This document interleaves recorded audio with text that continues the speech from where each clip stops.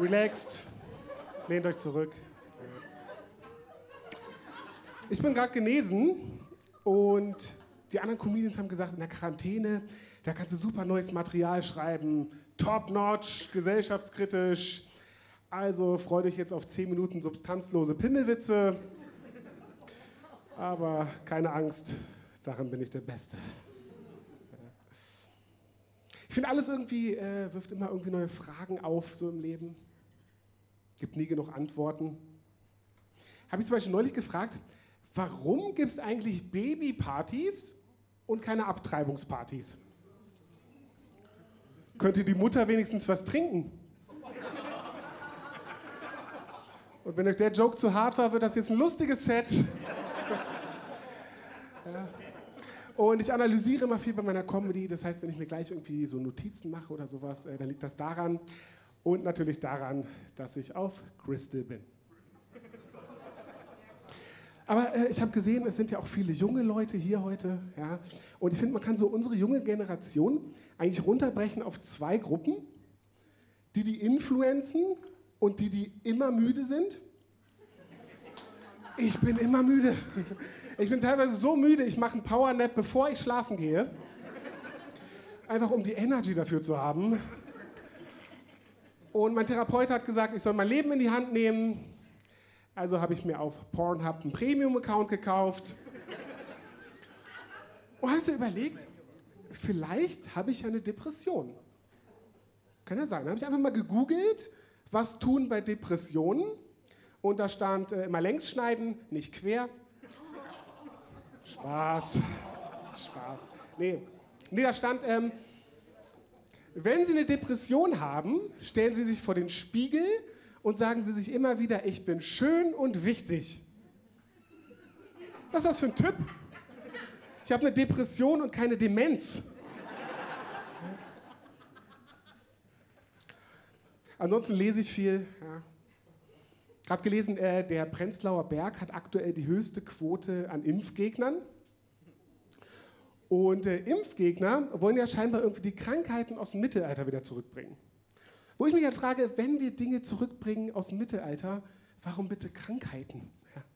Warum nicht öffentliche Enthauptung und das Recht, mit deiner Schwester zu schlafen? Ein paar Leute aus Brandenburg gerade so, hä, wo ist der Witz? Verstehe es nicht. Okay, äh, klatscht mal, wenn ihr in einer festen Beziehung seid. Okay, einige, ja. Also ich glaube ja, das Wichtigste in einer festen Beziehung ist zuhören. Meine Freundin, die meinte zum Beispiel mal zu mir, sie hätte mal Bock auf Handschellen.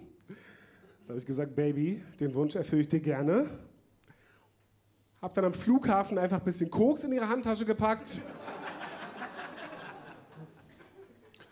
Und unsere Beziehung ist recht frisch. Ja? Meine Nachbarn, die haben sich beschwert, dass sie uns beim Sex hören. Verstehe ich überhaupt nicht, weil sie wussten vorher schon, dass ich viel weine.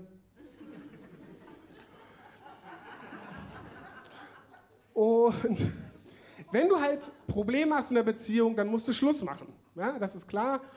Und ähm, da musst du halt einen triftigen Grund haben. Zum Beispiel meine Ex, die saß im Rollstuhl, da habe ich gesagt, man soll Probleme nicht vor sich herschieben. Ihr merkt schon, meine Witze sind wie Fisherman's Friend. Sind sie zu stark, bist du zu schwach? Okay, sind Studenten da? Gerade war hier irgendwie Computer Engine. Bist du das? Du fucking Nerd, Alter. nee, ähm, ich habe auch studiert, ja. Ja. Schön, dass du so selbstreflektiert bist. Ähm, nee, ich habe auch studiert und am allerersten Tag, ich weiß nicht, wie das bei dir war, aber da sagte der Professor immer diesen einen Satz. Also mein Professor hat auch gesagt, schauen Sie sich jetzt hier in diesem Hörsaal um. Nicht jeder, der jetzt hier ist, wird am Anfang des nächsten Semesters noch da sein. Und er hatte recht.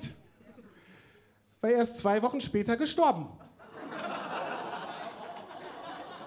vom Bus überfahren.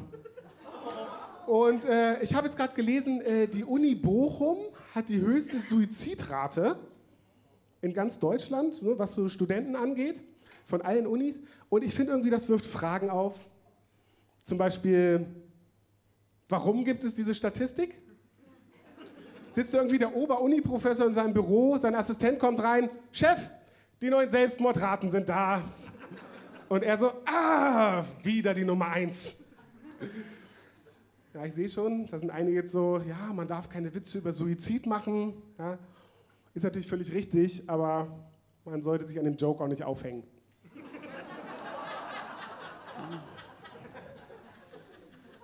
Aber vielleicht, vielleicht fragt euch auch so die ganze Zeit, was ist seine Message?